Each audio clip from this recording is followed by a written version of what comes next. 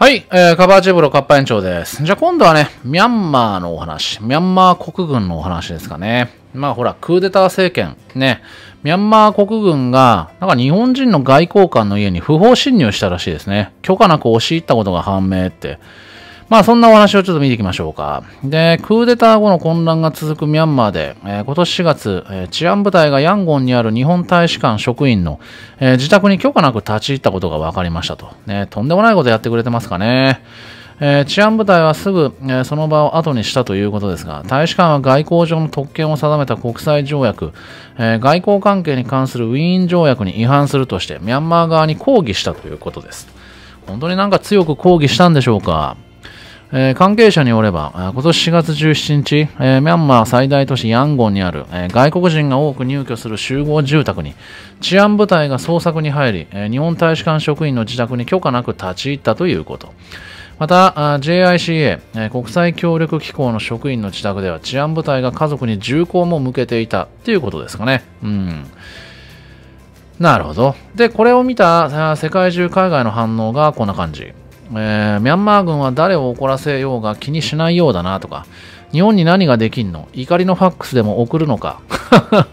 怒りのファックス送りましょうか？で、えー、次は、まあ、前回日本が起こった時は原子爆弾を落とすまで止まらなかったな、とか、あ日本は今現在世界で最も反戦な国だからな、実際に何をするのか興味深い。で、次の人がアメリカを呼ぶだけだよ、とか、えー、日本は外交官帰国させるかもしれない、えー、そうするとミャンマーの貿易に大きな打撃が出るだろう。とはいえ、これが起きたのは4月だから現状維持かもしれない。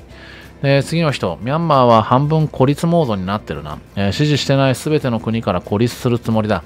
あクメール・ルージュが同じことしてたよ、えー、この戦略は決してうまくいかないだろう。次の人、ね、中国のポイントを獲得しようとしたのかな。次の人、ミャンマーにはもう中国しか残ってないからな。で、次の人、えー、そしてそれすら悪魔と契約するようなものだ。で、次の人が、ミャンマーは中国とも険悪だよ。で、次の人が、これは戦争行為じゃないの。で、次の人、それは日本、相手がどう受け取るかによるよ。えー、イランでアメリカ大使館が襲撃されたことあるが、アメリカは宣戦布告はしなかった。しかし外交関係は直ちに断ち切られ、イランに対して制裁が行われた。で、次の人、大使館攻撃したわけではないから状況が違うよ。で、次の人、えー、それでも外交官ではあるよ。で、次の人が、ミャンマーは日本帝国に喧嘩を売っているようだ。で、次の人、また始まるのか。で、次の人が、あ日本は反戦主義だから日本人がどう反応するのか気になるな、とか。まあでも4月に起きたことだから、とか。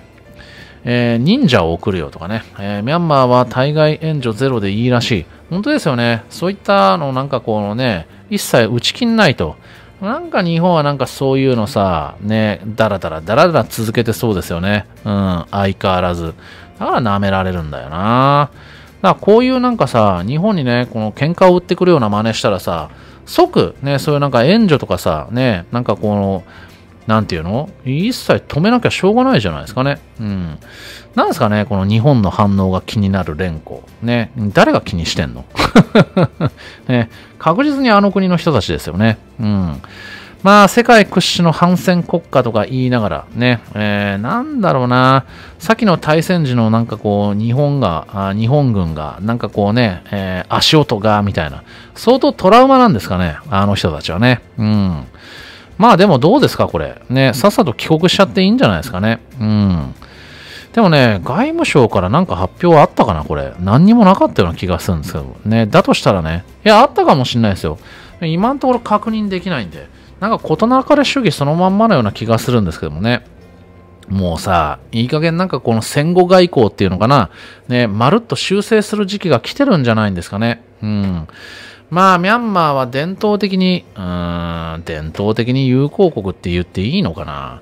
まあ一応ね、えー、それに数えられる一つ、ではありましたけども、なんだろうな、結局ね、中国の影響がものすごく強くなって、ね、あとそれに比例してね、政府も暴走してたから、ね、いい加減なんかこうね、手切りたいんだけども、まあそうするとまたさらに中国がまあ調子に乗ってね、よりエスカレートさせて、なんだろうな、このアンダマン海をね、自分の海のように振る舞いかねないから、切るに切れないジレンマって言ったらいいんですかね。まあ、例えばね、えー、まあ、日本国民の中にもこれ、いろいろこの受け取り方って人によって違うとは思いますよ。うん。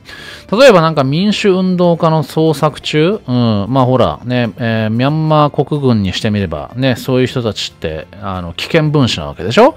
の捜索中に大使館職員の家に立ち入った。ね、で、大使館職員の家と聞いて立ち去った。まあ、言うほど戦争行為じゃないんじゃないのかと。ね、知らんかった、すまんなで済むレベルじゃないんですかっていう人もいますけど、本当にそうかな？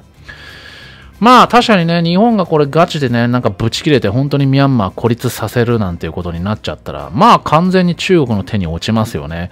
だからそうなると今度は隣のインドもね、えー、中国の危機にさらされるというか、ここはここで面倒なことになるじゃないですか。だから日本は中国の思うツボにならないようにしただけって見方もできるとは思いますけれども、一方ね、こんな混乱してる最中だからこそもっともっと支援を厚くする、強化していくぐらいでいいと思うっていう意見もあるんですよね。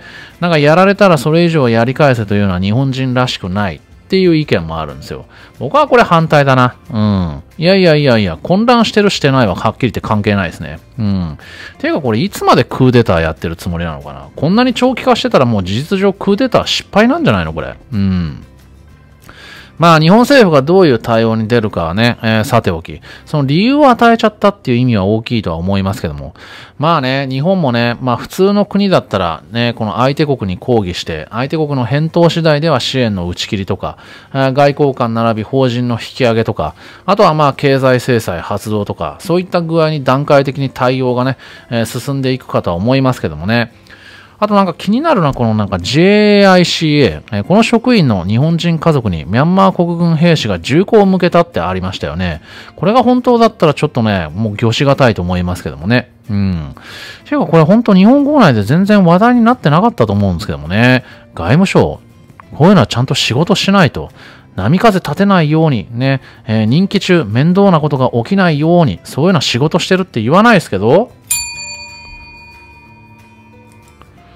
これは多分、というか、じゃあこれがね、今回はたまたま日本だったわけでしょ、えー、日本以外のね、えー、違う別な国の人間、ね、だったとして、抗議しない国は多分ないですよね、これね。うん。これはね、いや間違えました、すいませんじゃ済まないよ、どう考えても。うん。だってね、これ、入り口のどうやら、ね、ミャンマー人のこの職員をね、えー、なんか暴行、殴って怪我させてるみたいなんですよ。だから下手したら、ね、この実際日本人のこのね、えー、外交官、ね、えー、職員の人、大使館職員、うん、下手すりゃね、うん、あの、命奪われてた可能性もゼロじゃないと思いますよ。これはね、厳しい対応をしないとダメだと思います。これもう制裁していいと思うな、やっぱり。うん。だからまあ、大使館は閉鎖して引き上げ、で、ワクチン供与。あれ、ミャンマーにワクチンって話あったっけ？なんか聞いた覚えがあるんだけどな。これあったとしたらこんなもん白紙撤回ですよね。うん。無駄ななんか、なんていうのかな、こういうの、そのね、結局、うん、まあ、調子に乗ったらね、えー、相手が日本だからどうせ何もできないだろうって高く売ってやってる部分も絶対あると思うんで、ね。だそういう舐めた真似したら痛い目に遭うのは自分たちだっていうことを、これ口で説明してもこの人たち聞かないですから、ね、痛みとともに、うん、デメリットでもって、事実でもって分からせてやらないとダメだと思うんですよね。うん。遺憾法、懸念法は何の意味もないっていうのはもう、相手別にあの国に限った話じゃないですからね。うん。じゃないと結局こういう途上国では何にも進まないわけですよ。うん。ね。だから誰に喧嘩売ってるかっていうのを思い知らせてやるっていう作業も僕は絶対必要だと思いますけどもね。うん。で、実際ね、うん、それをやってこなかったから今ね、すげえ面倒なことになってる。ね、そういう国との関係があるじゃないですか、日本にはもうすでに一つ二つ。うん。だからこういうのをやっぱりね、なーなーで済ましちゃってきたから、ね、こういう細かいことの積み重ねが今、ね、日本とあの国の、ね、うん、こういうことなわけでしょ？うん。同じこと繰り返したら何にも意味ないんですけども。ね。遺憾の意ミサイルなんかもう一発も撃たなくていいです。いらないです。うん。ね。許可なく立ち入っただけならね、抗議で終了？いやいやいやいや。ね。そういうことしてるから、例えばね、うん。